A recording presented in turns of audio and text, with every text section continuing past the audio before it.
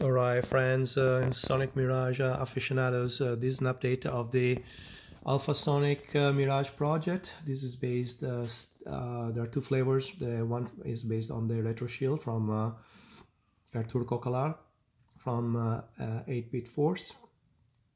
And this platform contains a 6809E and plugs in the, you can plug in the TeensyDuino 3.6 or 3.5 with the um, SD card. This SD card contains the image a1.img, which is one of the floppies of the Mirage.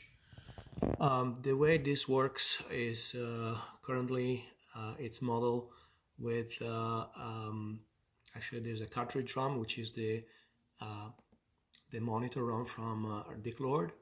There is the boot ROM, and uh, there is the um, C model for the 6850 for the DOC 5503 and for the floppy as well as the VIA 6522.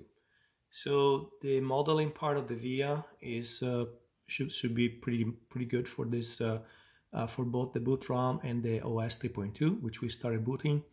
Uh, the floppy actually works uh, great uh, for reading.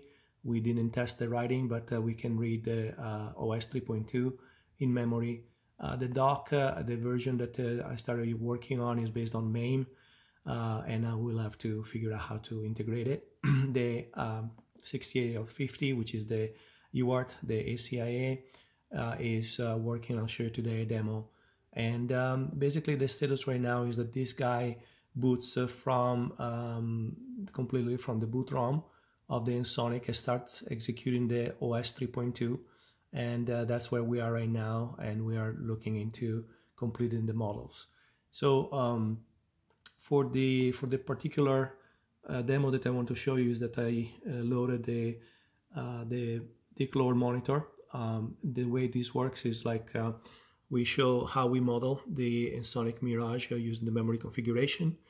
Um, right now I left only the messages for the that have to do with the VIA the 6522 and uh, we go all the way down to the Sonic Monitor ROM. These are the characters that actually come from the ROM of uh, uh, Dick Lord uh, code. So if I want to um, uh, do a command, I can do, I can look at the memory from C000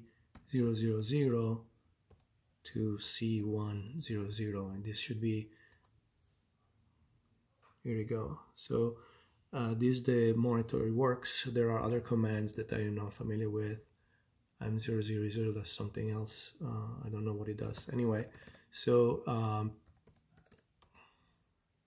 so let's see if I can do another uh, display of the memory from uh, let's see F uh, F000 0 to F100 this should be this is the boot the boot ROM. So Right now, this is emulating using the uh, 60, 6809, the ACIA, the ACIA model, the 6850.